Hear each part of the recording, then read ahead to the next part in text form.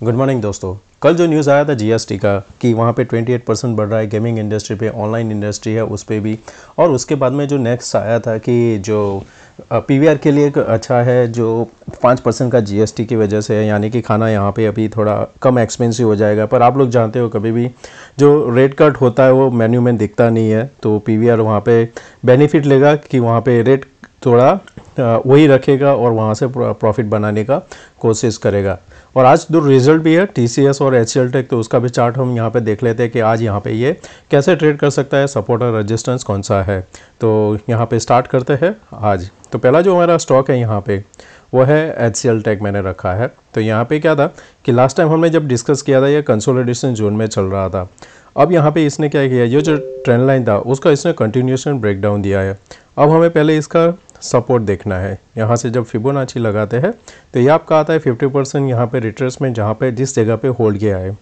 अगर आज यहाँ पे इसी जगह पे होल्ड कर जाता है, और रिज़ल्ट है, जो यहाँ पे कुछ खास इतना रिज़ल्ट का एक्सपेक्टेशन मार्केट में अभी नहीं चल रहा है, पर क्या पता वहाँ पे कुछ सरप्राइज़ आ गया तो यहाँ से आपको इस लेवल के ऊपर कहीं पे खुलता है। 1132 के ऊपर तो आपको एक अपमूव भी देखने को मिलेगा। उस टाइम क्या होगा कि ये एन पैटर्न में कंप्लीट होगा और आपका टारगेट यहाँ पे 1200 1245 से भी ऊपर जा सकता है।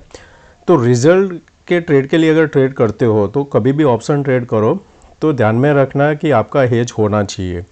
अगर यहाँ पे नेगेटिव आता है, यानी कि जो भी रिज़ल्ट है, आज यहाँ पे इनसाइड बार बनता है कल फ्लैट ओपनिंग होके यहाँ से लो के नीचे जैसे ही सस्टेन करने लगता है, आप शॉर्ट कर सकते हो।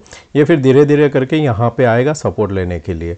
तो काफ़ी अच्छी सी जगह पे यहाँ पे ये होल्ड कर रहा है। सेकंड है डेल्टा यहाँ पे इस लेवल से काफ़ी अच्छा सा इसका सेलिंग आ रहा था। अब इसको हमें देखना है ये लेवल से कि यहाँ तक आएगा ये। तो जो हमारा 50 परसेंट यहाँ पे है जो हमारा सपोर्ट बनेगा, क्योंकि इस टाइम भी यहाँ पे रेजिस्टेंस था तो ये सपोर्ट का काम करेगा। तो अगर कोई भी गिरावट आती है, और हम यहाँ पे ओपनिंग होते हैं 240 के नीचे तो फिर हमको एक फॉल देखने को मिलेगा। तो हम यहाँ पे टारगेट लेके चलेंगे 240 के नीचे 233 और 230 रहेगा हमारा टारगेट अगर बड़ा ही गैप डाउन हो जाता है तो फिर यहाँ से आप बाइक के लिए देख सकते हो। टीसीएस यहाँ पे अच्छी चीज़ क्या है कि इसने लो यहाँ पे लगाना, यानी लोअर लो जो लो बनता था यहाँ पे, वो स्टॉप हो गया है और ये जो ट्रेंड लाइन नीचे से आ रहा था, ये ट्रेंड लाइन मैंने इस जगह से यहाँ पे ड्रॉ किया है तो उसी जगह के आसपास जाके सपोर्ट ले रहा है। अब यहाँ पे हमें क्या देखना है कि अगर यहाँ पे रिज़ल्ट जिस हिसाब से एक्सपेक्ट लोग कर रहे हैं फ्लैट हुआ तो यहाँ पे पॉसिबिलिटी है कि जैसे ये लो ब्रेक करेगा, यहाँ पे सपोर्ट लेने आएगा। इस जगह पे सपोर्ट लेके होल्ड करता है तो फिर नेक्स्ट जो हमारा बाउंस आएगा, वो हम यहाँ पे, ये जो एक ट्रेंड लाइन बनेगा, हम इसको ट्रेंड लाइन लेते हैं। हम्म। यहाँ से जैसे ही बाउंस आएगा, वो यहाँ पहले आएगा कंसोलिडेशन करके जब ब्रेकआउट देगा, तब आपका टारगेट थर्टी थ्री सेवन जो आएगा। तो ये लेवल के लिए ध्यान में रखना। P V R P V R INOX जो हमने लास्ट टाइम मेरा जो ग्रुप है, वहाँ पे मैंने कवर किया था जब यहाँ पे ये लेवल के आसपास था। तब मैंने यहाँ पे बाय दिया था, काफ़ी अच्छा सा एक यहाँ पे मूवमेंट देखने को मिला था। अब भी हमें यहाँ पे ध्यान में रखना है कि ये लेवल के ऊपर निकलता है।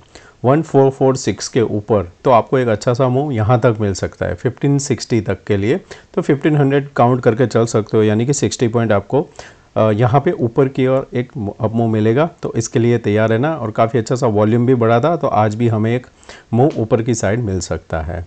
और एक नाइका भी शायद है ना नाइका एक और आईटी स्टॉक था। आ, मैं भूल गया हूँ आप मुझे मैसेज कर देना मैं ग्रुप में अपडेट कर दूँगा उसका जो चार्ट होगा क्योंकि एक आईटी कंपनी है वो भी गेमिंग इंडस्ट्री में है। तो उसको मुझे यहाँ पे देखना है कि वहाँ पे वो कैसा चार्ट है। तो प्लीज़ कमेंट में ज़रूर लिखना वो कौन सी कंपनी है, मैं भूल गया हूँ। और तो दोस्तों मिलते हैं नए वीडियो में। Thank you take care bye bye